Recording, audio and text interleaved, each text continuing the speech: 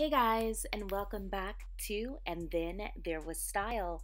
If this is your first time here, please make sure you hit the subscribe button on your way in. So, in today's video, it's going to be a fun one.